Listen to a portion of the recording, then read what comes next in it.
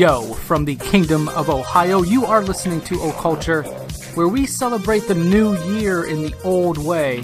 So, welcome to the new year, motherfuckers. That will make sense in a few minutes.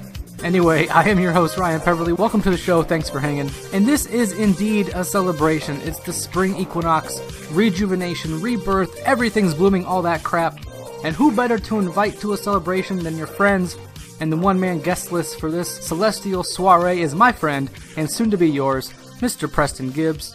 Preston is a professional astrologer and tarot reader from Plano, Texas, and his website, liminalastrology.com, is the portal to his prophecies. Preston and I are going to talk a bit about the equinox, what it means, and how we can work with its associated energy. We'll also get into his worldview, which plays well with the video game analogy we should all be familiar with by now. We also talk about thoughts being causative and how that fits in with simulation theory, pattern recognition as it relates to astrology and tarot, the impact of millennials on astrology, a little bit of science fiction, and some other things I'm probably forgetting. Also, the last 15 minutes or so, our Skype connection got a bit choppy, but it wouldn't be a New Year's party without a little memory loss and slurred communication towards the end. So if this sounds like you're kind of seen, grab your consciousness altering agent of choice and open that mind so we can plant some thought seeds in that third eye.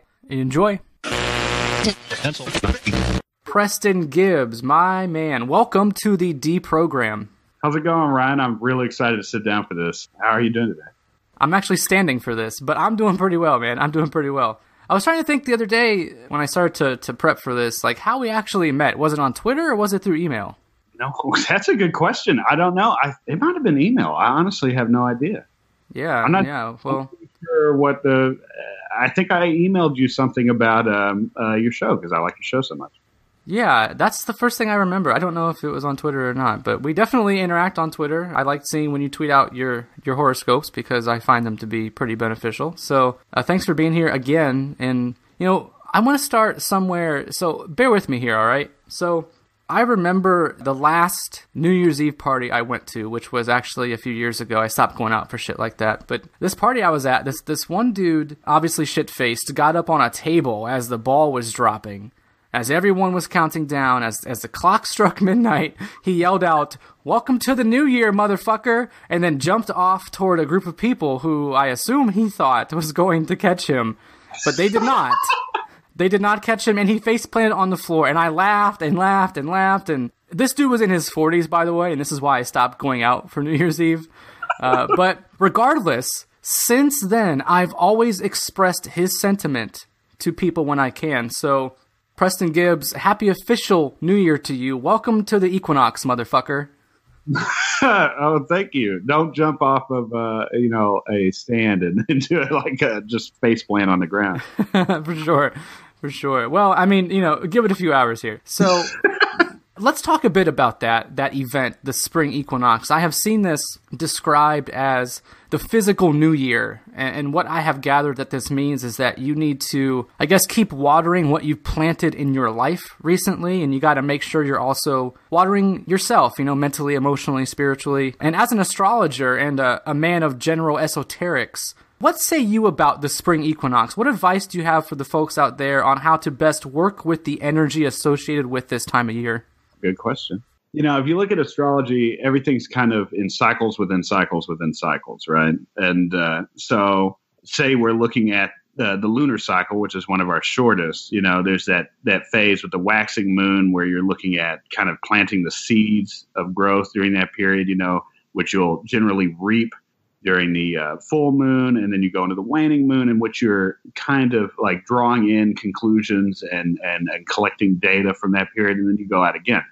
a lot of people are pretty much, you know, what would you say, like unaware of, of this process in their day to day life. But if you look back on your life, I feel like you'd see cycles where you know you were highly productive, you did a whole bunch of stuff, you kind of, you know, you got to this phase and then you achieve this sort of like semi burnout where you're kind of sitting back and, and, and, and recollecting, you know, and, and recovering from that phase.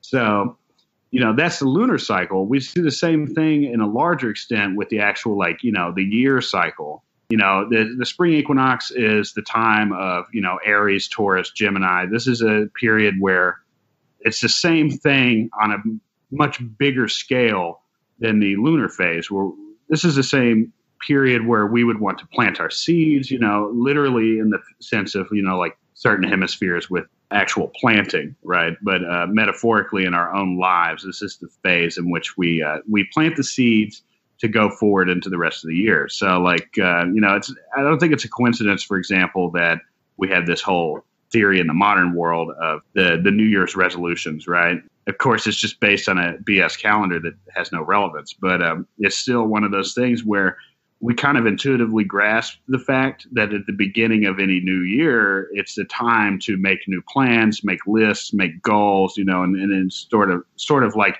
plant the seeds to start to, to reap some of those rewards, right? Like nobody's making, you know, a resolution to uh, get in shape in September, right?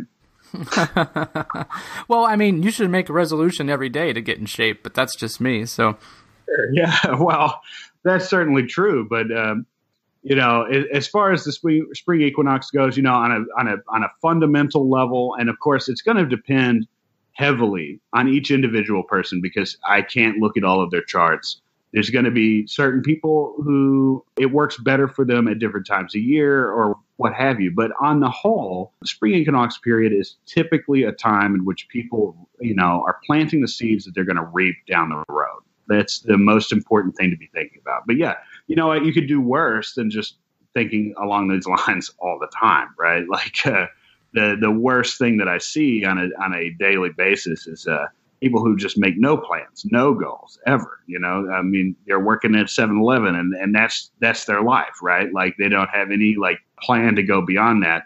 And there's nothing inherently wrong with working at 7-Eleven whatsoever, right? The the where you get into what's wrong is the fact that this is your life. You could you you totally waste it, you know, just sitting right there, or you could make some kind of goal that you want to achieve, right? Like it's the difference between what you're getting in life and what you're getting out of life, right? Like your life is yours to uh, to determine, and you're the only one that has to experience it. So you kind of get to determine exactly like what goals you're going to meet and which which ones you're just going to ignore. To boil that down, into the spring equinox, I would say generally astrologically, spring equinox is one of the best times to set these kind of goals and really like make plans and uh, try and achieve them. Definitely, yeah. So I was thinking as you were talking too, is there such thing as a solar new year and a lunar new year? Because you know when you celebrate the new year in fucking January, it's very cold and it's very you know like moonlit. You know, it's got that sort of vibe to it, short days and and whatnot. But I'm thinking like, you know, the, the solar new year, or at least the, the new year that I would like to recognize, you know, here in the spring, like it's obviously days are getting longer and sunnier. So is there such thing as solar new year and lunar new year? Well, you know what? That's getting into like a realm of like paganism. And I'm not personally a pagan, although I have pagan friends. And uh, I honestly don't know, uh, like in depth, a lot of the material about the equinoxes and the solstices, for example. But I do believe there's a historic basis for this, right? And of course, you know, one of the fascinating things about looking at it astrologically is it depends on where you're at, right? Like if you're in the Western Hemisphere, things are different than if you're in the Eastern Hemisphere. You know, like what we think of as summer is uh, entirely different than if we lived in Australia, right? So I think that that has a uh, a determinative effect on people's lives and how like where you're actually born and where you make your you know your life so to speak it has a lot to do with when exactly you're say sowing your seeds versus reaping them and what have you. And um, the unfortunate truth astrology and esotericism in general is that most of the systems are incredibly personal in a way right? Like you know i've met tons of people who are magicians and of course each one of them magic means something entirely different right? There's no one truth. Astrology works the same way. I wish i could just write articles in which you know i could immediately address everyone's personal problem and solve all things for them but uh, i can't do that you know? I can um, i can look at things. Generally i look at things from an american perspective. That's where i'm from uh, you know, a large part of my reading audience is from that hemisphere. That's just kind of a choice that I have to make, right? Like I can't, I could, for example, like break down horoscopes based on location, but uh, I, just, I don't have that kind of time, basically. yeah. so yeah, as far as uh, lunar and solar New Year, I believe there's a historic basis for that. Although honestly, that's going outside of my realm of expertise, so I I don't want to BS you about it. Oh, that's completely fair, man. Thanks for that. And just one more thing on this. I saw something on Instagram that I thought was worth quoting here or worth sharing. I saw a post that said this We are being pushed to purge out everything holding us back before the spring equinox. The season shift is a major timeline jump in, in order to create physical realities that align with our destined paths. Many are being guided right now to release living locations and move, or change careers or end specific relationships in order to live out their true soul missions on earth. Whatever is leaving, let it go. Would you agree with that? Yeah, I would definitely agree with that. You know, looking at um, people's charts and things, there's like there's certain houses that uh, people are afraid of. For example, like the uh, eighth house, which is generally the house of death, but it's a lot like the death card in tarot, right? Like you're not looking at. Sometimes it's literal death, but most of the time it's a metaphorical death. It's like a uh, you know, when you let's say you planted, you know, your seeds and then you reap, you know, there's a certain amount of chaff like that you have to slough off in the process, right? Like everybody I think has experienced this in their lives. You know, there's a certain number of friends that you've had when you were when you were kids that later on you look back and you say, you know what, this person's not really helping me. Like they're nice people, but you know they're negative or, or or whatever. Like there's a metaphorical death there of change right? Like change is a natural byproduct of growth and progression. Like it's one of those things that in the modern world in general like well and I, I, wouldn't even say the modern world. I think humans in general are somewhat afraid of change. Like i i have no doubt that you know in the year 1000 they were just as afraid of change as we are today you know? Like there's a uh, there's a safety aspect of being in you know your element you know like being in your routine your your your world that you understand. But the truth of it is is that you can't progress that way. Like there's a certain amount of like whenever you make a major progression in your life or you make you know you move towards your goals there's going to be a certain amount of, of pushing involved right? Like that quote you're going to fall into a category in which there's no way around letting go of things in your past right? Like even things that you really loved you're going to have to let go of people and places and events and ideas that you once held, you know, inviolable. And it's just a natural byproduct. If you think the same way today that you did at 20, then you probably fucked up somewhere along the way. Mm, yeah, that's that's a good point, man. That's, that's a great point, actually. So let's pause this procession for just a minute and take a step back and talk about you you know, where in the story of Preston Gibbs did your universe open up and serenade your ear holes with the music of the spheres for the first time? So uh, that's a very well put question. I, uh, you know, I'm not uh, incredibly different from your average person, which may actually lead my story more credence. You know, it's not like I was just always totally bizarre and like, you know, making magic circles when I was six or something like that. You know what I mean? Uh, yeah. like for for most people, I think like certainly when you're kids. In my case, like I was only aware of astrology in the most like hippie sense growing up. You know, like I knew what sun signs were. I sort of knew when somebody said, "Oh, I'm a Cancer," I knew what that was. But it's not like I put any emphasis on that or even really grasp what they were talking about until much later.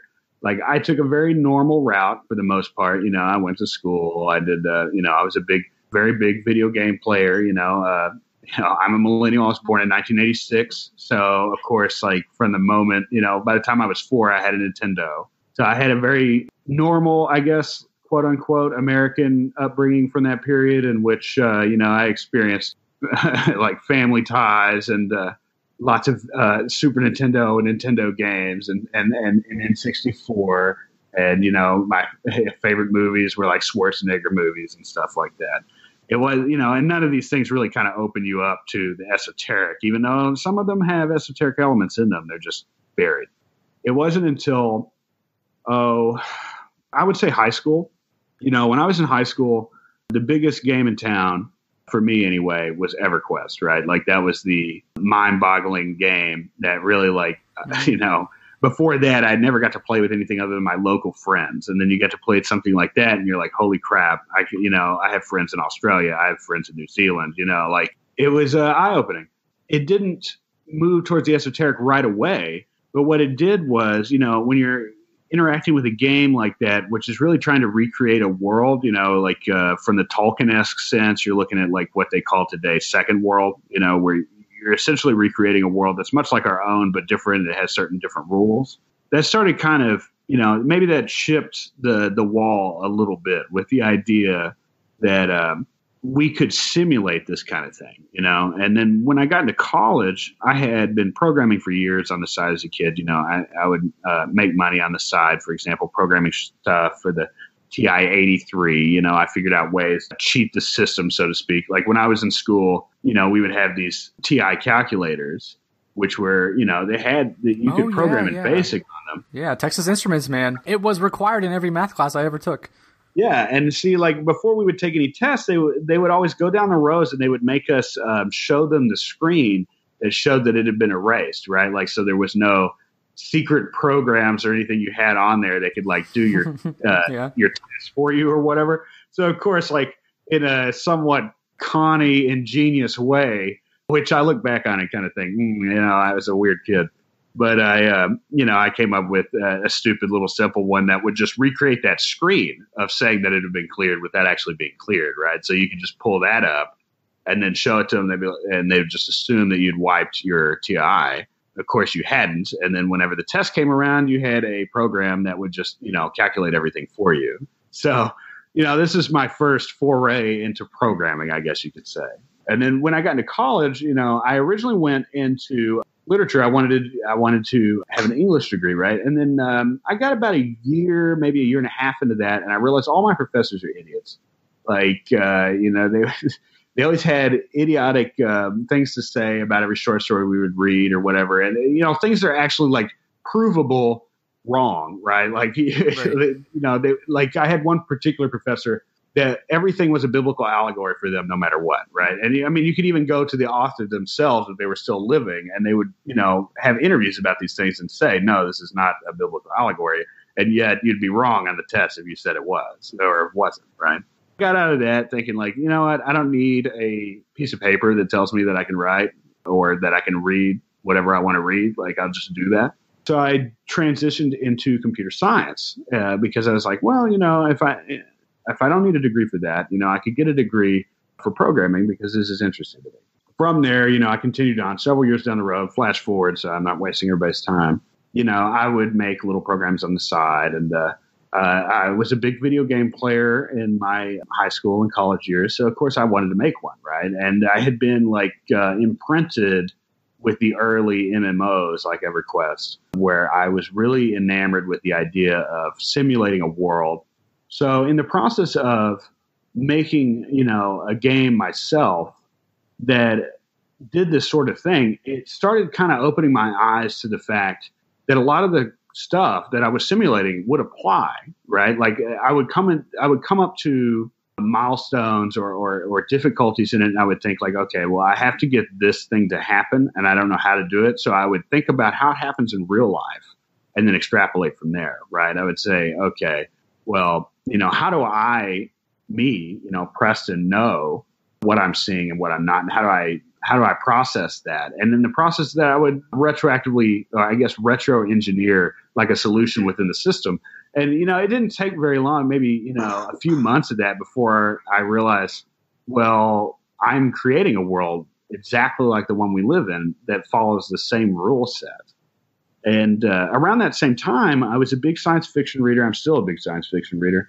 And I read Philip K. Dick. And specifically, I read Philip K. Dick's Valis, which, if any listeners uh, are interested in Philip K. Dick, I would not advise you to start with Valis. That is, uh, that's one of his later mm-hmm. works that is very complicated. But um, I loved that book. It really opened my eyes to a deeper philosophical view of life. Uh, he deals a lot with Gnosticism and a Gnostic viewpoint. And of course, that led me to people like Miguel Conner down the road. This all kind of like, like, like happens in your own life or anybody else listening to this. If you look back on a lot of the things that turned out to be important for you, it usually was like a ridiculous mix of things that just kind of like coalesced at a certain point. So all these things kind of coalesced for me, and I realized the world follows the same system as a simulation, And uh, you know, if you look at the Gnostics and the Demiurge, and, and you know th- these concepts like this, like the world was created by somebody who either is not here anymore or is inherently evil in some way. You know, you start to piece things together, and somewhere along the way of that, of course, being inundated with a lot of programming, I realized that randomness cannot be created. You can simulate it, but you can't actually produce truly random things and it made me think, hmm, this is the uh, limits of our technology. Like we can't really recreate the real world because we can't recreate true randomness. But then in the process of thinking about that, I started thinking about the things in my life that seemed truly random, and I came up empty. Most of it just it was complexity that was making it seem random. So the more I looked at it, the more I thought that's odd. Almost everything that's considered to be random today is actually just incredibly complex. It's complex to the extent that it seems random, but almost anything in your life, if you, it seems totally random, if you sit there and break it out for long enough, you'll eventually come up with a pattern. So this made me realize that our technology is not behind, our concept of reality is behind.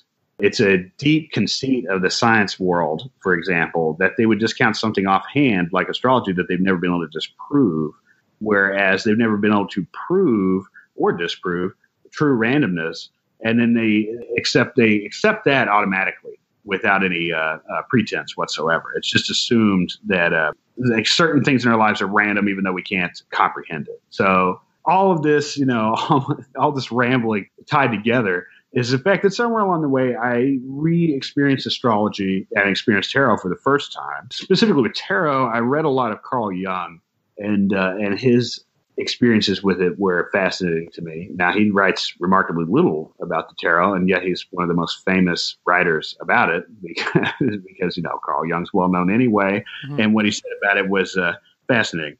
Long story short, uh, I re experienced these things, and I'm looking at them with new eyes down the road and realize that they explain a world that doesn't have randomness, and therefore they seem to explain the world better than the way that we do in the modern world because in my you know new understanding of it there is no such thing as randomness.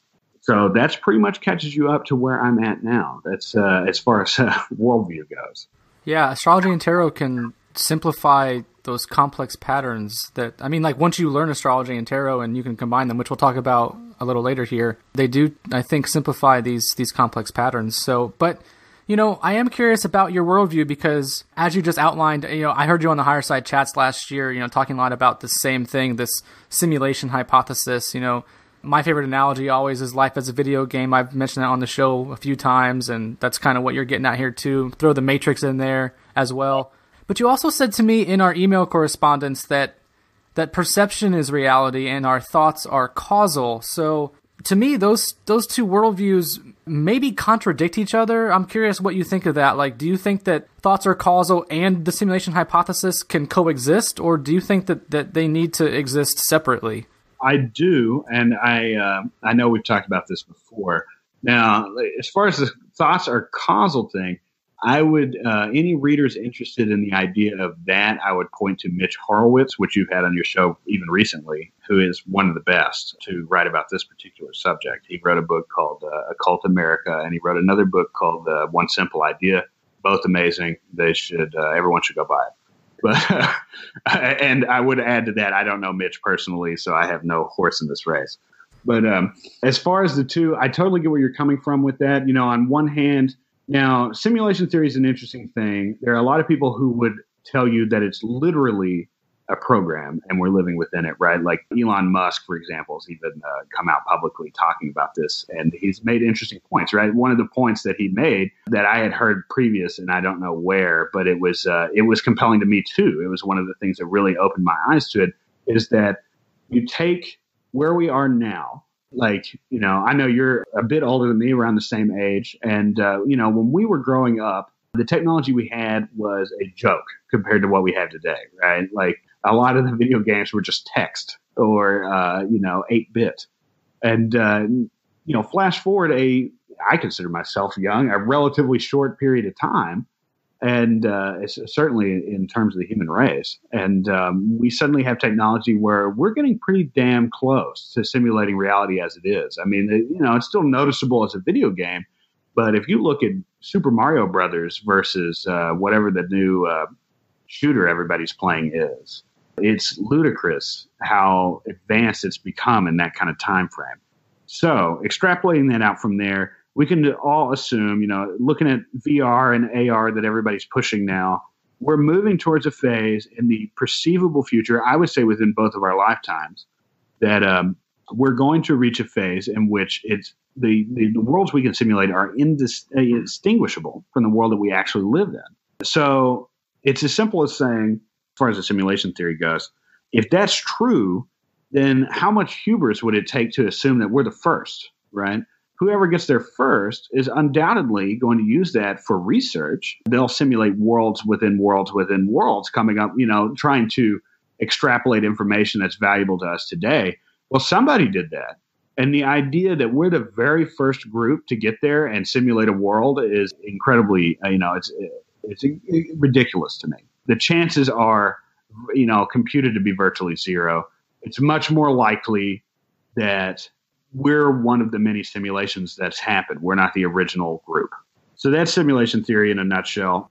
I would say that I personally do not believe that it is necessarily we're in a server blade, for example. We're not, you know, I think whatever is going on here is beyond whatever current technology we have. We have no way to uh, comprehend it. But I would still say that the we're we're scratching the thumbnail surface of a lot of this stuff. We're just getting to the technological level where we're starting to comprehend the fact that worlds are not what we originally perceived them to be.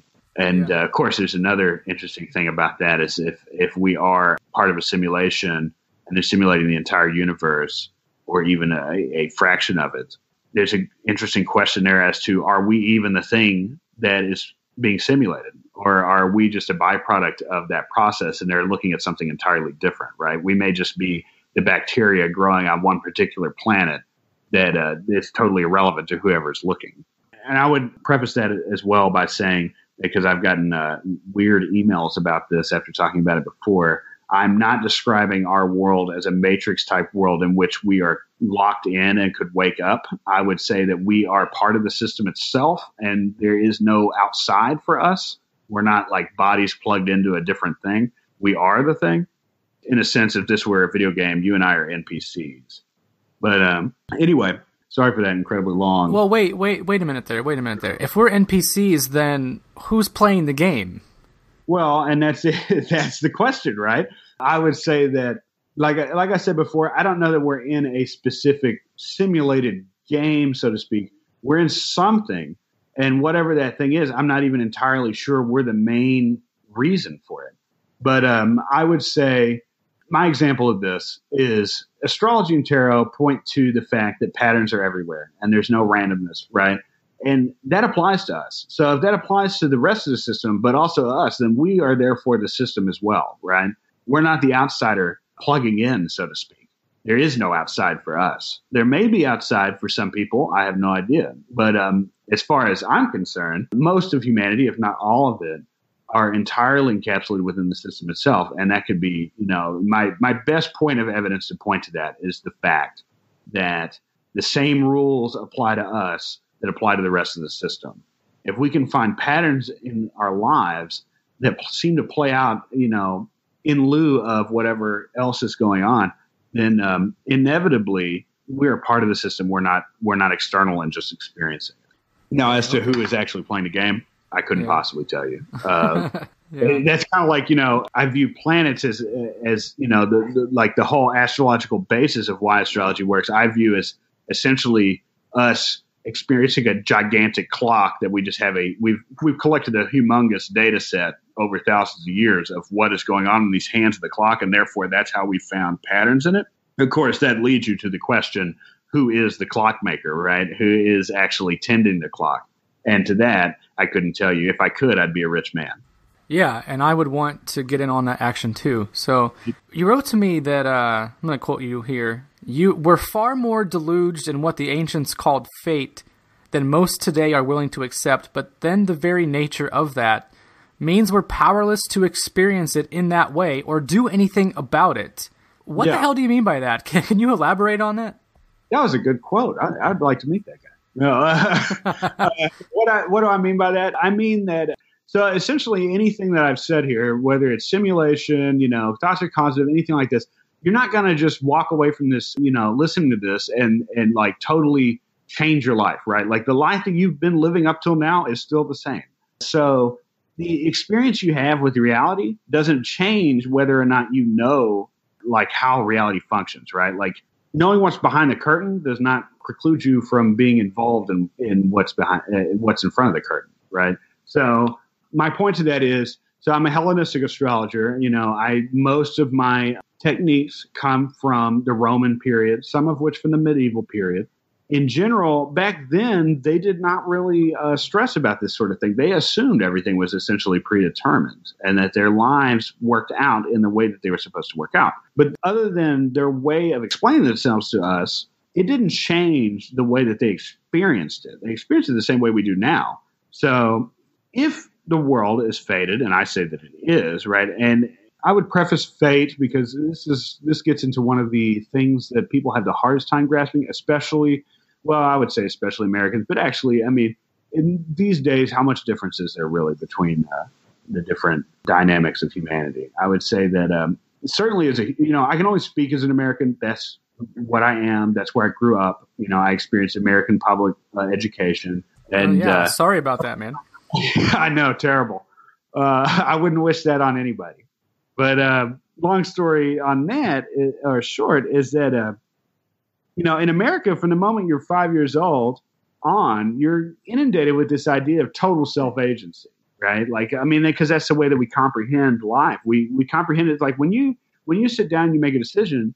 In your mind, it's always going to feel as though you made that decision totally separated from anything else, right? Like it's yours, you made it. But my point is that everything is fated, or you could possibly use the word destiny, which sometimes people grok a little better. I don't know if you know the word grok. That's old school. Um, Stranger in a strange land. Ah, man. Oh, man. Virtual high five. but, but, yeah, you know, um, so destiny sometimes is a little easier to uh, swallow. But I would say that, you know, things are fated regardless, but they're not going to feel that way to you when you're living your life, right? Like you're going to feel like you have total agency. The difference is, is that you don't actually comprehend a lot of, a lot of like important detail, right? Like we think of time as linear, like we think of, you know, like this is now and an hour from now is later. That's the future, right? And an hour previous to this, that was the past. But uh, of course, I don't see time that way. And I think we have plenty of evidence to suggest that that's not the way that time works. You know, that's the way that we comprehend it because we, uh, you know, whatever the nature is of our existence, uh, we have limitations, which we know, right? Like cats can see other waves of uh, of light than we can. You know, cats can hear other things than we can. So we know that we're limited on our our ability to perceive the world around us, right? So I can hear to a certain level, but no more. I can see, you know, I can't see ultraviolet light. That'd be crazy if I could. That'd be pretty cool. But uh, uh, you know, so like in the same way, we perceive time the way that we have to perceive time. We can't comprehend it. We can't grok it, Ryan, in another way. And um, so while we perceive it as this is the present, then there's the future, and there's the past, I would say that the entire pie of time exists at all times. We're just experiencing a slice at a time. So, because of that, say for example, you decided, so this gets into the thoughts are causative thing. And uh, I don't know, Mitch Horowitz may hate my explanation of this. I'm sorry, Mitch. But um, say, for example, you thought of you're going to lose weight, right? And then six months later, you've lost 50 pounds. And you look back and you say, thoughts are constant. I had thought of losing weight, and I did, right? But to my viewpoint, I would say, how do you know that you weren't just reaching a slice of that pie in which you were going to lose weight, and therefore the idea of losing weight popped into your head? Like, how do you know that your idea of losing weight was totally your own and not just a simple fact of you're moving to that phase and therefore that you begin thinking about it. So I'm curious then, how does this worldview inform your understanding of the machinations of astrology and tarot? Good question. I would say that it blends very well with the idea. Let me preface this for a second because I am one astrologer and tarot reader. There are many, and I am not speaking for all. There are plenty of astrologers and tarot readers that would disagree with this point, and that's totally fine. It's a you know it's a part of human experience that we don't have like one agreed upon method for anything, whether you're writing a book or making a movie or anything else. And thank God for that, because if every movie was like a Michael Bay movie, I would stop watching movies. They're very boring.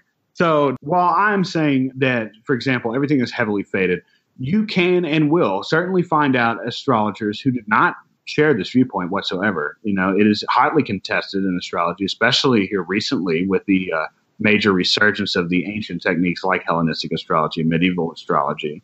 There are plenty of astrologers you can go to who will tell you that everything is total free will, everything is total self agency, and that you can essentially usurp the negative things in your natal chart if you put in the right kind of effort. Now, I'm not one of those people. I'm just, I, I you know, I want to make well clear that I'm not disparaging those people or the people who believe in that. I just have personally, uh, when working with clients and things like this, experienced that that is rarely the case. Everyone has weaknesses and everyone has strengths, and those are more or less set. It's rare that somebody who is a terrible public speaker suddenly becomes an incredible one or you know somebody who's a natural introverted personality who thinks a lot you know they live in their head they they live the life of the mind they don't suddenly stop doing that and live an incredible extroverted life. Now you can learn techniques to soften your edges so to speak but you'll never get rid of the basic elements that make you you. And that gets back to some of the fate as well right? Like how much how much fate is untouchable for example? Like how much of it can you not possibly move? And I'm not sitting here telling you that if you sit on the couch and do absolutely nothing, your life will play out identically. I'm saying that if you sit on the couch and do nothing, that was fated. You were automatically pre like that was what you were going to do there, and you had no uh, self agency in that in that instance. But um, at the same time, it's hard to grok again. Going back to something we we just discussed about the idea that you don't have the level of control that people experience normally, you know. But again, you're going to experience it as though you do. If everything is played out automatically, say you're a player on the stage, you know, of life, so to speak, to borrow a bit of Shakespearean metaphor, you're still going to experience that stage as the whole thing. That's the whole pie. You're not going to go out on that stage and know that you're an actor playing a part your part is you and your character is you, and you're powerless to do anything about that. Now, that sucks for a lot of people to grasp because they take that to mean that they're doomed. And that's not what I'm saying.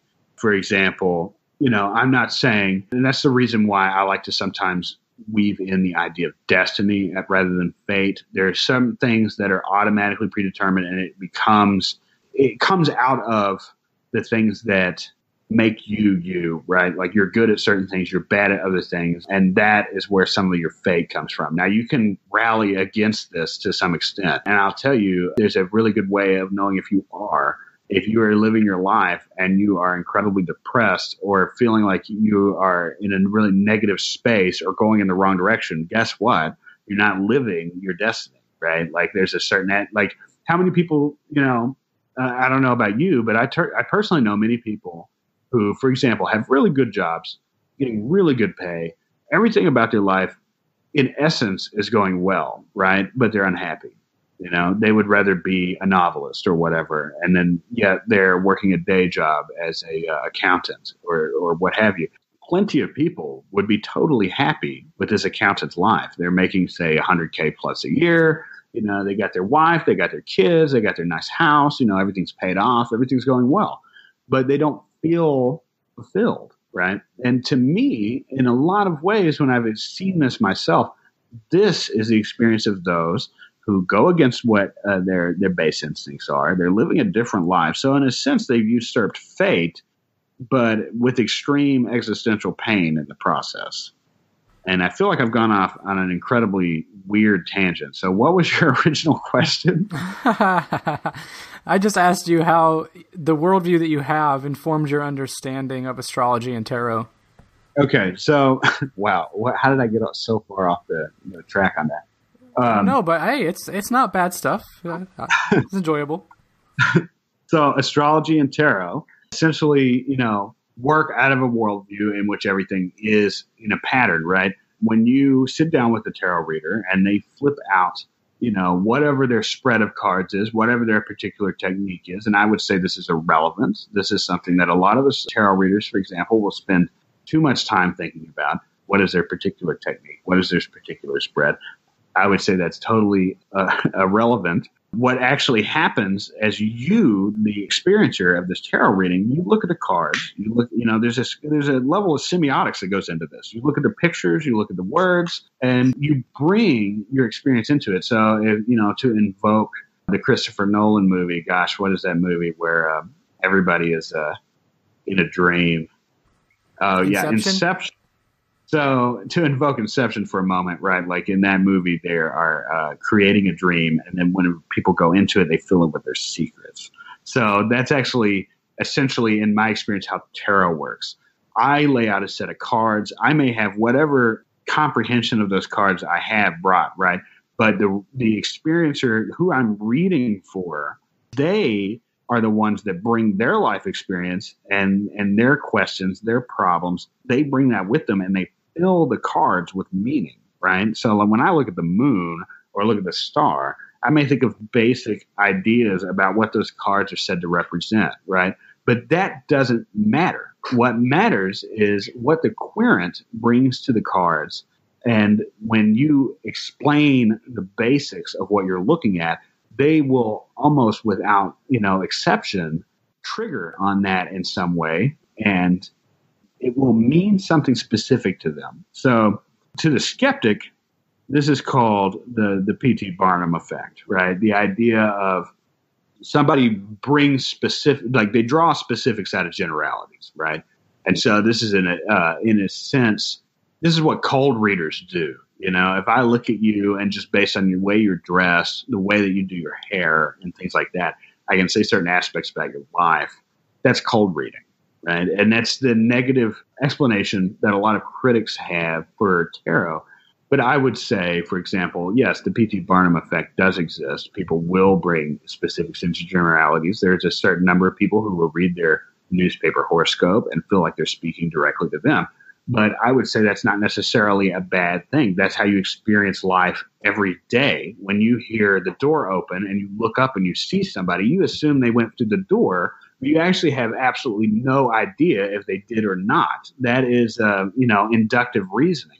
You're making solid assumptions that are most likely to be correct, but that doesn't mean, you know, that they're based in some kind of objective truth. So tarot and astrology work in a worldview in which there everything is patterns that can be found. There is no thing in our existence that does not follow a pattern. So in my worldview, it rocks perfectly with the idea of the fact that there's no true random because of course astrology for example if there were true random then astrology wouldn't work or it would work some of the time. And that doesn't seem to be the case in my experience. More often than not especially if they're using the right technique they tend to come out correct over and over and over again. And to me you know it goes way past the metric the, like the, the experience of random a chance, right? Like I don't, I'm not right 50% of the time. I'm right a lot more than that. And the reason for that, in my opinion, is the fact that there is no true random. The world that we live in is an entirely pattern based world. If you examine your life, I guarantee you, you will find patterns over and over and over, and usually patterns within patterns within patterns within patterns.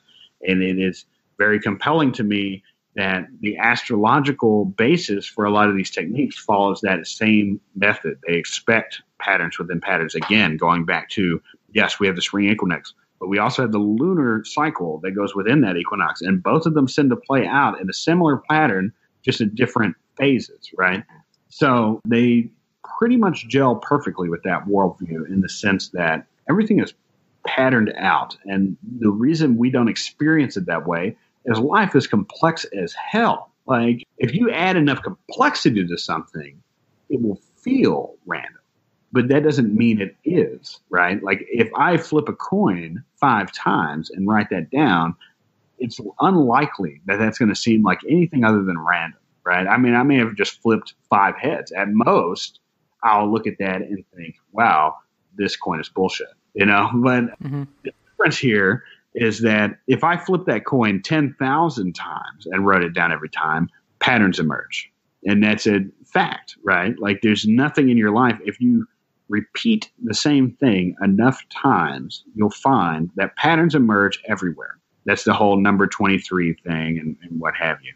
And uh, of course, yes, if you go looking for something, you'll find it. They would point to that, and I mean by they, maybe the, the modern scientific community, they would point to that and say, well, this person is unhinged, right? They're looking for the number 23 and they see it over and over again. Or every time they look at a clock, they, you know, they register 1111 and they think, well, that's odd. Why do I keep saying 1111? And then they say, oh, well, that's uh, confirmation bias. You look at the clock all the time and you only remember when you see 1111. I, on the other hand, would say, yes, maybe that is confirmation bias the way that they say it. But I would also say patterns exist and we register them the way that we want to register them. So when you keep experiencing the same number or what have you, and of course, like using Jung and uh, modern occultism, we would call this synchronicity.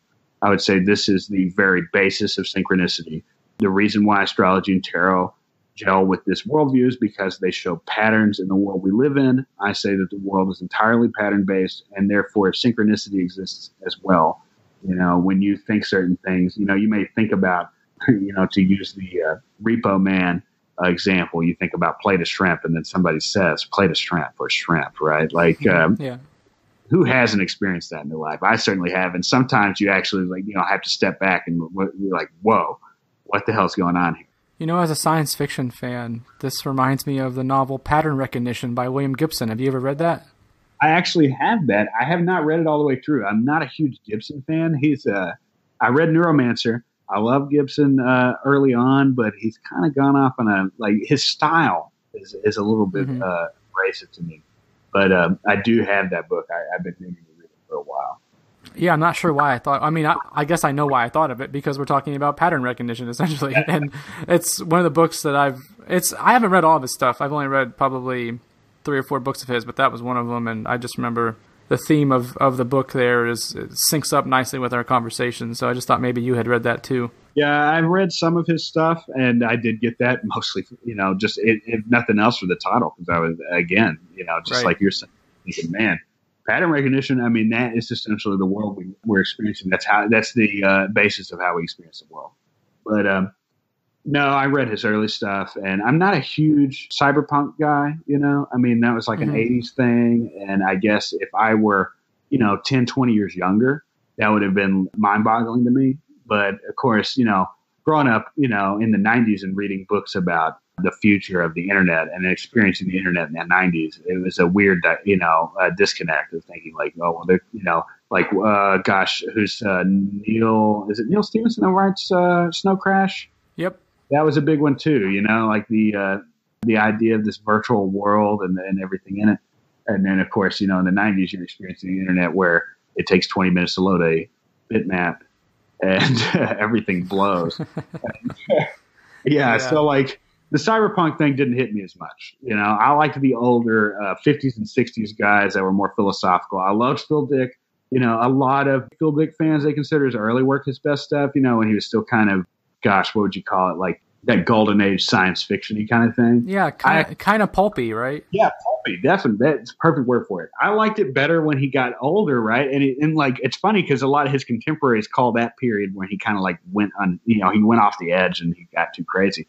But I actually like those books best because he starts getting so philosophical, you know, after his uh, experience with, uh, gosh, what was his friend uh, Bishop Pike? Yeah. Um, can't remember if he was. Uh, Episcopalian or, or what he was exactly, but uh, yeah, he made friends with him and started getting more and more into religion, you know, and uh, and in his experience of religion, he started getting into you know specifically Gnosticism and all these different things. And he wrote like uh, to any of the listeners out here that that sounds even remotely interesting, go pick up some Philip K. Dick stuff. He obviously understood the worldview that I'm talking about, although maybe not consciously. And he just talks about it all the time. And his later books are incredible. Scanner Darkly is amazing. Ubik, which is one of his earlier works, is amazing. Again, again, talking about people existing in a world that's essentially a fabrication. And uh, Valis was uh, one of the all-time favorites. I know you interviewed his his widow Tessa, mm-hmm. that was an awesome, awesome interview. I love that.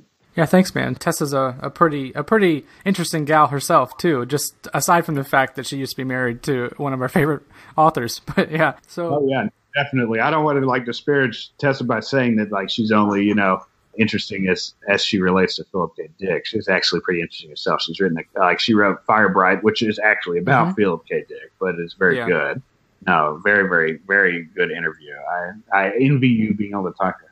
Well, she's actually pretty accessible, man. I mean, if you had Facebook, you could probably talk to her all the time. So could be one of those uh, weird fans that just you know just shows up on her doorstep, like oh, with like man. a bunch of random Philip K. Dick paperbacks in my hand, and be like, "Oh my god!" And uh, yeah, I'm sure she would love that. yeah, maybe not. I'm not sure, but yeah, maybe, maybe not that. I, yeah. so, along these same lines, you wrote an article recently about astrology and tarot correspondences this is a, a, topic that popped up in a chat I had recently with the ladies from the Fortune's Wheelhouse podcast. I don't know if you've heard that podcast, but we didn't get too deep into those correspondences. But if you don't mind, I'd like to dig deep into those correspondences between astrology and tarot. And I guess a good place to start is with the four classical elements and how those correspond to both astrology and tarot. Yeah, so of course, you know, obviously that was interesting to me. You know, as soon as I came across that, thinking, oh, here's an interesting like I like tarot, I like astrology. Here's a uh, interesting way to meld the two. You know, there's the basic correspondences, like you know, you're looking at the basic four elements, the Greek elements. If you look at water, for example, of course, Cancer's a you know a water sign, for example, and the cups in tarot represent water. You know, the swords represent air, and you'd be looking at Gemini and things like this for air, right? You know, there's three uh, astrological signs for each element, and there's a uh, tarot uh, suit, I guess you could say, for each element. And specifically, the article you're talking about, I drew a lot on uh, Lon Milo DuQuette's work, which I would again suggest any listener who's interested in the tarot or anything like what we're talking about, look up Lon Milo DuQuette, amazing writer. He wrote a book fairly recently that I think is called Understanding the Thoth Tarot, and that is a amazing book. If you're interested in tarot and you haven't experienced a Thoth deck, or you don't, uh, or you, maybe you're afraid of it because it's uh, tied to Aleister Crowley, I would certainly suggest look into DuQuette's book.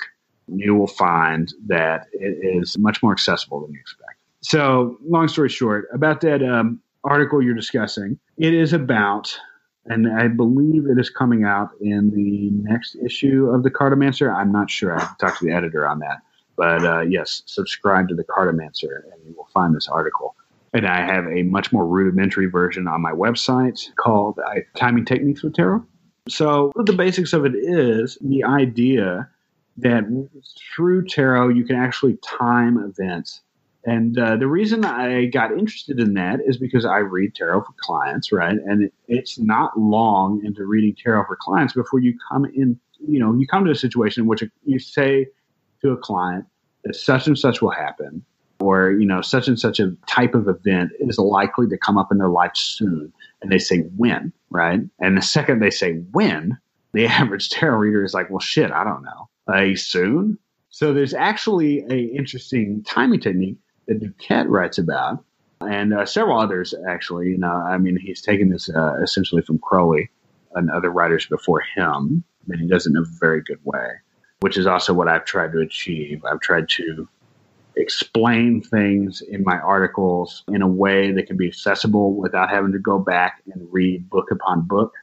Basically, so when they ask when, for example, there are techniques within tarot that can dis- discern exactly when, and they, they do link up astrologically.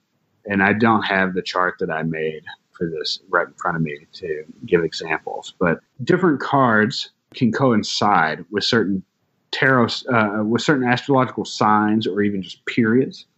As odd as that might sound, if you accept the fact that the world is full of patterns, then this is just a, yet another pattern. And in my personal experience, it works remarkably well. You can find, for example, you know, with the question at hand that it's going to happen on a Wednesday or it's going to happen in the summer. And this can be, you know, seemingly ridiculous to the querent at the time, but I can't tell you how many emails I've had, you know, vastly after the fact of a particular reading where people are, you know, freaking out and saying, oh my God, you said this was going to happen like on a Thursday in, in March and it and it happened today and it's Thursday in March, you know, and it's just like mind boggling to them. You know, the reason why it is is not because I'm some kind of like uh, exceptional genius or anything like that, because believe me, that is not the case. Uh, I'm not a psychic or have any special skills whatsoever other than just having learned this stuff. The difference is is that their worldview doesn't explain the fact that things could could predict what's going to come up, and uh, mine does. Right? Like to me, it's not surprising at all when things happen down the road that I knew were going to happen, and then they, they play out. And maybe it's uh, you get a rush of wow, I can't believe it happened that way, or holy shit, I knew that this was going to happen, and yet I, you know, I was totally unaware of it in the moment until after the fact, and I thought, wow, that's insane. But yeah, it's incredibly compelling to people. So it's essentially the same way as when somebody experiences a hypnotist or a magician, right? Where they know they're going to pull a trick on them. And then, then when they do the trick, they're totally blown away and they say, uh, you know, like, I can't believe that happened, or, you know, I have no idea how that worked. And the truth is, of course, the difference between the two is with magicians, for example, we take it for granted that whatever they're doing is not breaking the laws of physics, right? They, they're not uh, some kind of superhuman who is totally destroying, you know, Newtonian laws in the process. But with astrologers, it's a little different. Sometimes people come into that and expect them to somehow be like uh, higher order mystics or something like that. It's essentially the same thing. The difference is, is that their worldview, they're coming into that does not encapsulate whatever like the technique the uh, magician used to do a card trick or whatever that blew their mind. So it still works. It's just phenomenal to them because in the world as they understand it, it's uh, majestic in some way or uh, incredible. And uh, that's not to disparage card magicians or anything like that because I love them. so, could you give us some examples of how maybe astrological things like the decans coincide with certain tarot cards? Well, I'll tell you what, with the decans, and I don't know a lot about them, you really want to go to Austin Coppock. Anyone listening to this, go pick up, you know, if you're interested in the decans, pick up Austin Coppock's book. I can't remember what it's called. It's uh, called 36 Faces. Faces, yeah. Amazing, yeah. right? I don't know yeah. if you've read it. No, I don't know nearly as much as Austin on that. I can That's kinda, fine. Let me rephrase that question then. Is there a good example of astrological correspondence in tarot from a major arcana card that people might be familiar with? I don't know how much the listeners know about tarot. The average tarot deck is uh, separated by major and minor arcana. And this does have an interesting uh, correlation with what I've been talking about because uh, a lot of tarot readers, and myself included, believe that minor arcana essentially coexist with what is currently like mundane in your life. For example, like these are things that happen in your day to day life. Major arcana, on the other hand, almost represent a divine influence in between that. So for example, like a major arcana card like the devil or the sun or things like this, if you get these in a spread and a reading, they're going to be different than if you got like the three of cups or something like this, right? If you got a minor arcana card, which to the listeners, that is the suits and the court cards, you know, the cups, the swords, uh, that would be minor arcana. And the major arcana is all the ones that are well known like the star and the devil, the lovers, you know, these kinds of things. Um, if you get minor arcana in a reading, you are most likely uh, dealing with things that you can control and are part of your daily life. If you get major arcana, on the other hand, you are going to get, for example, something that goes above and beyond your daily life. This is something that you may not have as much control over. So this gets into the confusion between what is fate, right, and what is something else. Like this wouldn't be confusing at all to the classic, the classic Greeks or or anybody like that who perceived the world to uh, exist in a situation where the gods are, uh, you know, heavily a part of our everyday life. So to them, this would just be a part of their life that's being influenced by gods rather than themselves. And this is harder in the modern world where most people are, I think the majority of the world these days is either atheistic or basically atheistic, religion in name only, for example. And uh, so, for most of them, they believe in total self agency, where everything that they do and everything that they experience has to do with like choices they make and their friends make and what have you. So, major arcana would exist outside of this. This is generally things that you have no control over. They're almost always external. They're going to come from you know out of nowhere. Now, as far as astrological correspondence with these, I did make a chart on this fairly recently when I wrote that article, but actually I do not have that chart in front of me. But there is one. If I could pull out Lon Milo DuQuette's, uh, you know, understanding the Thoth Tarot, I would be able to tell you more about that. But because I believe he did have a similar chart on the same kind of thing. But uh, basically, every card in the tarot actually corresponds with different things. Like, for example, like I said before, right, the cups represent the element of water, and uh, so do Cancer, Scorpio, and Pisces, right, which are water signs. Um, for example, discs are Earth, and you could compare those with Capricorn, Taurus, and Virgo. Uh, and then you get into other things like the cardinal, the fixed, and the mutable signs, right? And this uh, gets into more complex astrology. But basically, like long story short, like like fixed signs, for example, are Leo, Scorpio, Aquarius, and Taurus, right? And each one of those you'll notice is a different element. You know, Leo is fire, Scorpio is water, Aquarius is air, and Taurus is earth, right? So they each correspond with a different a different suit. You know, wands, cups, swords, and discs. So if you're looking at, for example, let's say you drew, you know, a cup card. Let me think. Uh, let's say you drew the Queen of Cups, for example, right? The court cards kind of exist uh, astrologically in a little more than the minor cards, right? And the uh, which is exactly to the point that I made earlier. So the major arcana kind of exists outside of the normal experience. Minor arcana exists within. Court cards are kind of in between. So uh, whereas a minor arcana card, like say the Seven of Cups, would represent, you know, something like uh, that usually represents the third quarter of Scorpio, which getting into Austin Coppock's realm, that would be the third decade of Scorpio. If you drew, say, the Queen of Cups, for example, that represents three decans, and they always kind of overlap with these signs. So the Queen of Cups would start in Gemini, would start in the, the last third of Gemini, but would overlap into the first two thirds of Cancer. So, for example, if you are looking for something and saying, you know, I want to know when it happens, it's going to happen in that phase. And, uh, you know, there are aspects of this as well. Like if you draw an ace, they are usually taken to be part of a, a, a season, for example. You would use this to determine whenever the question at hand is uh, going to come up. Somebody asks when this is going to happen. You can draw from the tarot deck and say this is going to happen in summer. This is going to happen, you know, in the first two thirds of Cancer, right?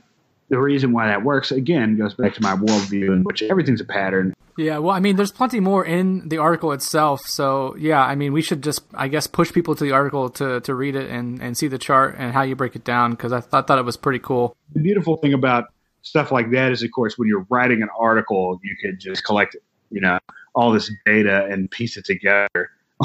you're talking off the cuff a lot of the time. You're like, uh, I know what this is, but I would have to pull it up. Right, right. So I got one more question for you, man. I had a conversation recently with Dr. Carolyn Elliott about the Pluto and Scorpio generation, the millennials, which we are both part of. I listened to some of that uh, uh, interview. Very, very good. I loved it. Well, thanks, man. You know, we get a bad rap sometimes, unfairly, obviously. But as a millennial and as an astrologer, how have you seen the astrology industry change because of our generation? Well, this goes back to a change in the generational interest, I guess you could say. You know, I've used this in the past, and I hate again to go into another thing that's specifically American because it's not really, but I've used this as an example, uh, the American dream, right? Like, so if you look at the baby boomer generation, they pretty much encompass exactly what we think of as the American dream, right? The 2.5 kids, the white picket fence, the, this whole thing. And uh, the Gen Xers kind of did the same thing. You know, they started off on a, on a different tangent, but they pretty much fell in line after a while. Uh, but the millennials are different. And uh, the reason why the millennials seem to be different is they grew up in a radically different world. The world that you and I grew up in, for example, is not nearly as isolated or, or fenced off as it was for the baby boomers. You know, to me, there's not a huge amount of difference between me here in Texas at this exact moment or England, right? Like I could phone up England right now. Not that you couldn't with baby boomers, but you'd pay out the ass with your mm. long, uh, long distance phone bill. You know, today that is not the case. Uh, we're experiencing a phase, and we've experienced it as we grew up, with more and more, you know, shrinking of the distance between these uh, so-called boundaries. Also at the same time as i grew up for example i experienced columbine you know i experienced 9-11 i experienced all of these shocking events in which the things that were guaranteed as safe and secure and what have you don't hold up. And uh, if you're looking at the baby boomer generation's version of the american dream essentially what they were chasing after was security was protection right and i don't think it's a coincidence today that as uh, a lot of millennials don't really seem to be touting the same principles. You have a lot of old school boomers and Gen Xers who are freaking out about the current state of the world and just want more guns, more protection, more police, what have you. And I don't see a lot of millennials doing that. If anything, millennials are much more suspicious of the police and everything to do with them. So the difference is, is a, it's a it's a change in societal understanding for the boomers and the Gen Xers, they grew up in a world in which they were pretty much safe to do as they wanted, and they essentially wanted, you know, what old philosophers like John Locke and uh, Jean-Jacques Rousseau, uh, who helped essentially found the idea behind the American Declaration of Independence. The idea that a government exists as a, a social contract that we make between uh, ourselves as individuals and the government, where I'm going to give a certain percentage of my rights, and in exchange, uh, all my other rights will be protected. Right? Like I'll be guaranteed to pursue happiness or whatever particular thing that I'm trying to do. And so, like the boomers really grasped onto that. Uh, they believed that they were essentially protected to go after whatever they want. This ignored the fact that what they want was being manipulated at all turns. But uh, essentially, they would go after what they wanted, which they believed was a house and 2.5 kids and a new car. So millennials grew up in this in this society. I don't know about you. I certainly grew up in a household where my parents were embodied this. They trusted in you know corporate interests to take care of them. You know they they trusted in the fact that uh, oh you know the company they worked for, the pension and the 401k, well that would take care of everything as long as they you know did right by them they would be able to live life on the weekends and everything else would be taken care of, right? Mm-hmm. Well, millennials, for the most part, don't seem to think this way. I certainly don't. We've been exposed to a different phase of life in which every aspect as we grew up was slowly dismantled. First off, we grew up in, like most of us grew up in household, this exact dream was realized and it was ass. You basically grew up in in which they achieved every single aspect of this and they were very disappointed. They were very unhappy and at the same time, we grew up in a world in which all along the way, things that were taken as were taken for granted, like, you know, you should be able to fly safely. Well, no, can't do that, right? You should be able to go to school safely. No, can't do that either. All of these connections, all of these safety protocols that they're guaranteeing in lieu of the rights giving up, those don't hold up. They can't actually protect them, right? They're, they're uh, a beautiful illusion. The idea that uh, everything's taken care of as long as you give up these certain things, those things are guaranteed, and you get to have the rest. You know, you can you can quote unquote go after what you want. That turns out to not be true. Millennials are no longer interested in this idea of protection or safety because they've kind of seen that to be uh, as hollow as it's turned out to be. They're more interested in freedom. And uh, so this is actually not only does this have to do with astrology and tarot, but it has, a, it has to do with the right cult culture. There's a sudden trend of science and questioning, you know, these uh, ridiculous things that we're told in public schools, which uh, knows today is to be at least uh, heavily redacted. The same thing is true with uh, science and everything else. And millennials seem to be very interested in freedom freedom to question authority, freedom to pursue for interests, and in general, freedom from this kind of like a oppressive protection that we sold into generations ago that's now become imprisoning. It's a natural byproduct of anything that we take protective that it eventually becomes imprisoning. So that's essentially what happened in the past. They gave up, you know, and it's not like it's just in the past. Hell, we're experiencing it right now with uh, the Patriot Act, for example, right? Where we, you know, willingly gave up a lot of freedom in exchange for this uh, so-called protection. Now, I don't know about you, but I haven't actually experienced any of the protection. I mean, we're supposed to, but uh, you know, it seems like airports are exactly as dangerous. now, this may be uh, looking back nostalgically, but uh, I feel like school at that time, other than Columbine, nobody could really name a high school shooting. Right today, we exist in a which it happens 30 or 40 times a year. I mean, you're talking about almost on a weekly basis.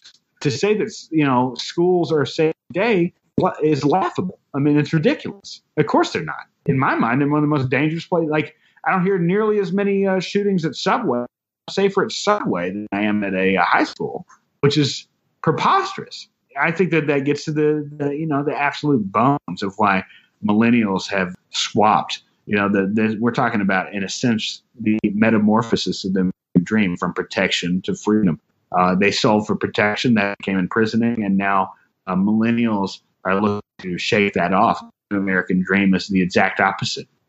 Uh, they're trying. Their American dream today is, in essence, escaping the American dream year. And uh, why, you know, do I think that has a connection between uh, why astrology, tarot, and you know magic the wider occult subjects have become uh, more important. Yes absolutely. And again that is that is not limited to america. I think people in our generation are much more interested in questioning authority questioning what they've been told as fact and in general just kind of like going their own way right? And there's nothing better than that than the occult that's a great answer, man. And I have to apologize to the listeners because our connection here all of a sudden has gotten really uh, choppy and poor. And uh, but we are towards the end of our time, anyways. So it's probably a good time to call it. Preston, please do tell people where they can find more of you and your work. Uh, well, so mainly I'm on Twitter. You can find me on uh, at Preston Astro. Uh, you can also find me on my website, which is liminalastrology.com. And uh, that's about it. Awesome. Yes. Thank you so much for your time, man. Thanks so much for the conversation. Really appreciate it. And again, my apologies for the connection here, but thank you for your time for real. I do appreciate it. You're a good dude. I look forward to keeping in touch with you. Definitely want to have you back soon to talk more about this and maybe some more about science fiction. That sounds great. Thank you very much for having me on, Ryan. I really enjoyed this. Here, here, and cheers to a new year full of new energies and new experiences. My thanks again to Preston Gibbs. LiminalAstrology.com is the place to be if you want more of his astrology and tarot, which is hard to rhyme with. The options are quite narrow, like tombs of Egyptian pharaohs or migratory paths of sparrows. Not swallows, unless they're African or European, but definitely not Caribbean, like those pirates, uh, which actually is hard to rhyme with. Unless we go back to that Jack Sparrow, which brings us back to tarot. I am quite lame. Anyway, I sure do enjoy that life as a video game analogy, or simulation theory, or the Matrix, or whatever you want to call it. And it makes sense that tools and practices rooted in pattern recognition would be able to crack the code, so to speak, of whatever it is that's actually going on in us and around us. That's why I'm drawn to both astrology and tarot, because every time I've had a reading, be it of the stars or of the cards, I have walked away rather humbled because the message always resonates with me and reinforces the idea that fate is real and working in our favor at all times. I don't know what all of it actually means big picture, but on a personal level, you could do worse than plotting your one verse to the rhythm of that cosmic beat. And speaking of beat, we haven't skipped a single one over at Patreon. Patrons now have two episodes of Occulture Raw to digest. The latest of which was with my friend Truth Seeker. He's an esoteric hip hop artist, author, and speaker, and is also the host of the True Seeker podcast, a weekly show that discusses spiritual, esoteric, and metaphysical topics. We chat about growing up on hip hop music, life in the deep south, real life true detective stories, and backwoods Louisiana churches. That's something. We also talk about warlocks, angels, demons, aliens, UFOs, elemental spirits, the Bible, creativity as God, true alchemy, and the work of Jordan Maxwell, who I would love to get on the show here. Those raw episodes are for patrons contributing $5 or more a month. So if you're interested, check out patreon.com slash occulture. And I have to give a shout out to our newest patron over there, William. Much love to you, man. Thanks for the support. And much love to each and every one of you out there, whether it's a dollar or a download. You guys make the time I put into this so worthwhile. But my time is up for this week. Do not worry, though, fate will bring us back together soon. Until then, you've just been initiated into a Occulture. I am Ryan Peverly, reminding you to love yourself, think for yourself, and question authority.